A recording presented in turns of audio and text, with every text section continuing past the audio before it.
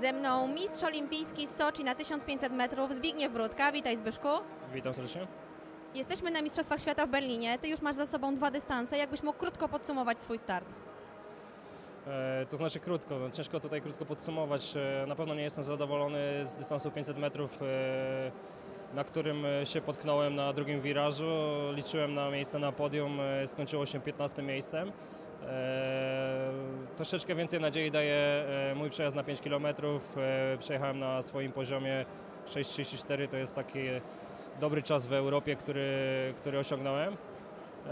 Na pewno liczę na jutrzejsze 1500 metrów i chciałbym dobrze zakończyć te mistrzostwa.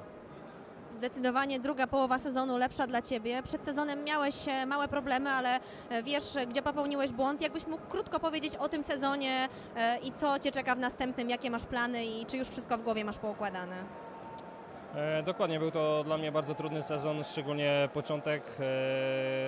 Ta forma wydawała się, że, że jest jak gdyby na, na wysokim poziomie, jednak e, gdzieś tam pogubiłem się e, technicznie przede wszystkim, bo mm, e, wytrzymałościowo i siłowo byłem przygotowany. Pogubiłem swoją jazdę, dlatego był słaby początek sezonu.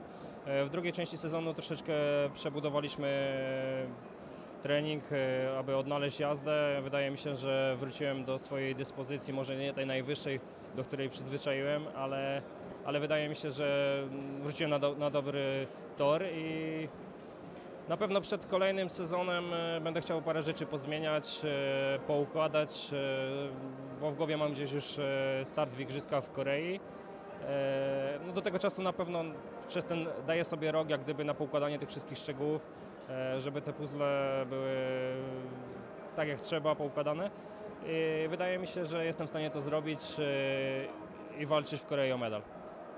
To ja tego Ci życzę, ale wróćmy jeszcze do tej hali tutaj w Berlinie. Wy jako zawodnicy znacie tą halę, dużo tutaj trenujecie przed sezonem. E, powiedz, czy Wy doceniacie to, że dzisiaj macie tak duży doping ze strony firmy Otto, która tutaj przyjechała w tak licznej grupie i Was wspiera? Słyszycie to w ogóle podczas jazdy?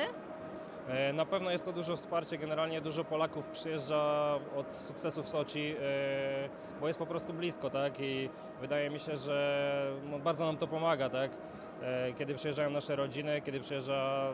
Im więcej tak naprawdę Polaków na trybunach, tym, tym po prostu jesteśmy bardziej zmobilizowani do tego, żeby walczyć Także chcielibyśmy za jakiś czas, żeby w Polsce powstała hala.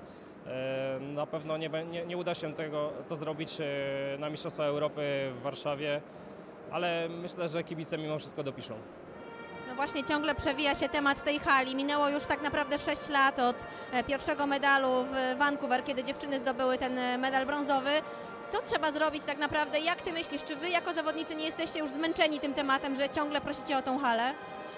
Znaczy tak, my, wydaje mi się, że już my stanęliśmy na Księżycu, tylko władza nie stanęła e, na wysokości zadania, e, aby tą halę wybudować. E, Już jestem troszeczkę zmęczony rozmową na temat tego, czy będzie hala, gdzie będzie. Jednak liczę, że mimo wszystko w jakimś tam trudzie ta hala zostanie wybudowana, bo tak naprawdę nie, nie robimy tego dla siebie, bo nasze kariery pewnie niedługo się skończą. E, Ale chciałbym tak na zakończenie pojeździć w Polsce i wśród e, właśnie polskich kibiców. Ja mam nadzieję, że ta hala wkrótce powstanie. Moim gościem Zbigniew Brudka, mistrz olimpijski z Soczi.